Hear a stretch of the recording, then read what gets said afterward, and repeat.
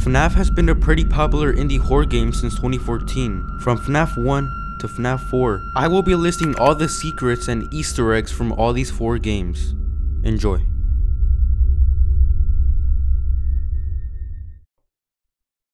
Yes, I'm gonna be a monkey for this video. Anyway guys, thank you guys so much for 4,000 subscribers.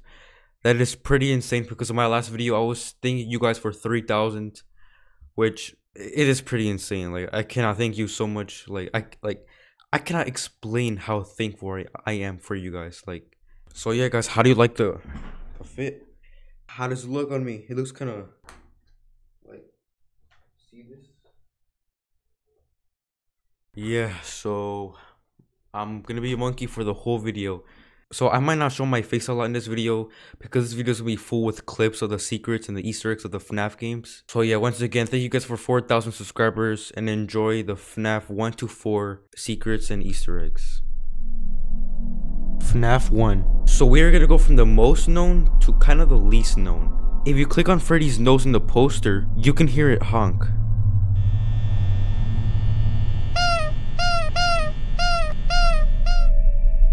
Once in a while, you could hear Foxy sing. And if you head over to cam 1C, it gets louder.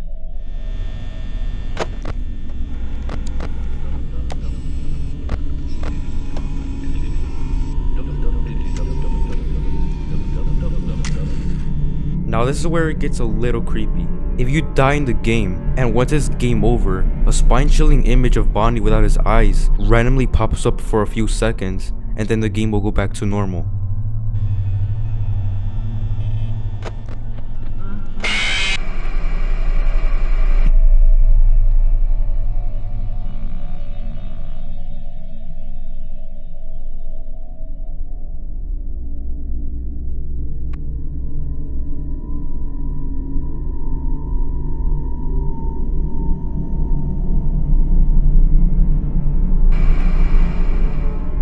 Now there is a few spots in this game that have to do with the it's me.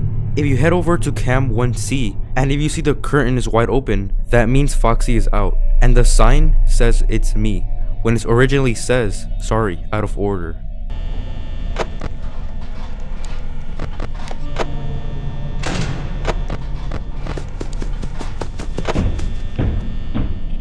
There can be flashing lights of Bonnie and Freddy where it also says it's me. On cam 4A on the right wall, you might remember it being pictures of the animatronics, but instead it's a big writing that says, it's me. On the same wall, you can't see pictures of kids crying, so I'm not sure what the meaning is, but it sure is creepy. On cam 1A, it is rare for Freddy, Bonnie, and Chica to be death staring you from the camera. Now this next one is Nightmare Fuel. If you head over on cam 2B, you might see something pretty chilling.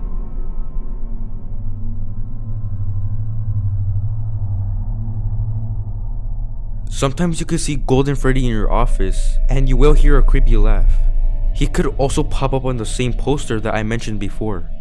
Once you beat Night 7, you unlock Custom Night, where you can customize their AI level. But if you type in 1987, you get this.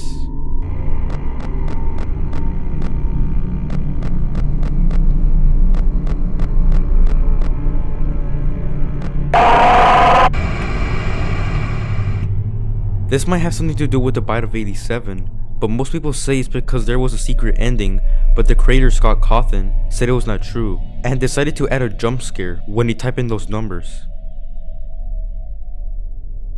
FNAF 2 When you started the game on PC, you might see these images. Take a look.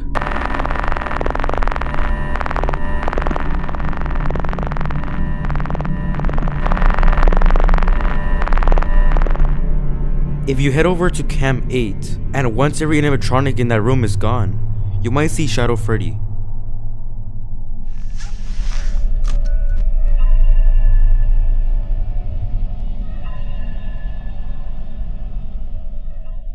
However, you can see another Shadow animatronic, Shadow Bonnie, but his name is actually RWQFSASCX, which I'm not sure if that has a meaning to it. Once you see him in your office and you stare at him for a couple seconds, the game crashes.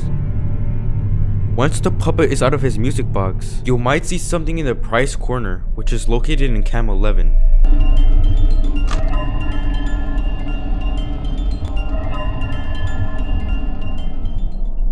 Here you can see the endoskeleton. It can also be seen inside the vents. Now here is something really creepy. Sometimes you can see JJ staring at you from under the desk.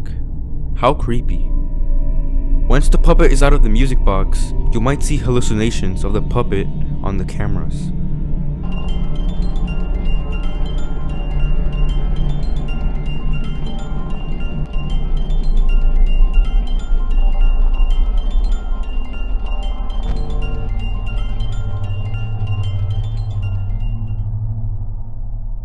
FNAF 3 on PC, when you start up the game, it is rare that these Springtrap scenes will pop up.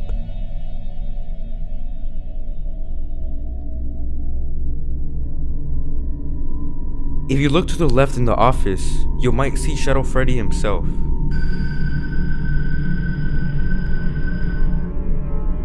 To your left of the office, you might see the Bonnie paper pal, which is weird because in FNAF 2, sometimes it's not there. To your right of the office, you might see Chica's cupcake on the desk. On cam 10, you might see a Spring Bonnie poster. You also might find another one on cam 2. Very rarely, you might see Golden Freddy's head on the camera. So, you see the outline of the map, right? If you flip it upside down, it is actually the outline of Scott Cawthon's profile picture, also known as the creator of FNAF. Before the game came out, Scott uploaded a teaser for the game, and when you brighten it up, you can see Springtrap.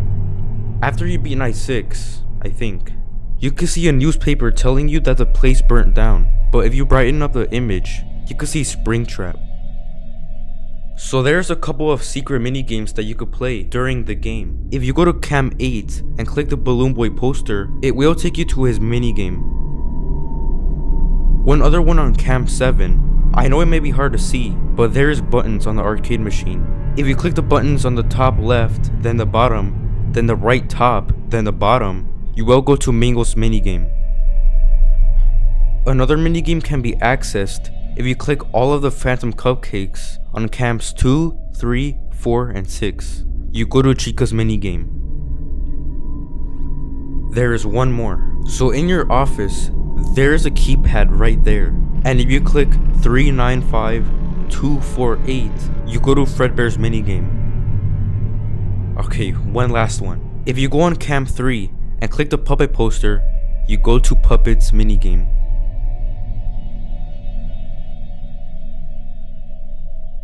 FNAF 4 if you listen closely, you can hear distorted audio of a radio. However, this isn't just any random audio. If you play the audio in reverse, you might hear something you might recognize.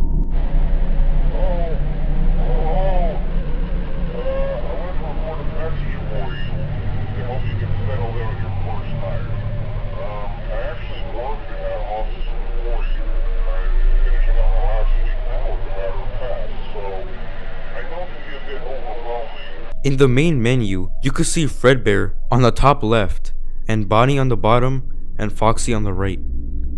If you turn back to your bed, there might be some objects that will randomly appear.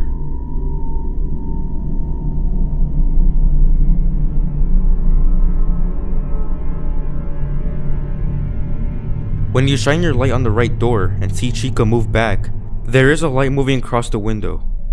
This could be animatronic eye running across, or maybe it just Chica's reflection. So you see the picture frames on the room wall, and the left hallway wall, right? Well, these are actually pictures of Scott and his family.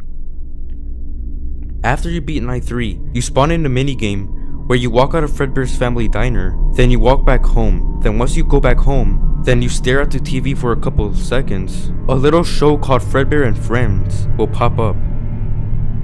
Once you beat Night 2, you spawn in Fredbear's family diner, then once you get stopped by someone in a Fredbear costume, and you walk back, then you look back, you could see Purple Guy putting a Spring Bonnie costume on someone.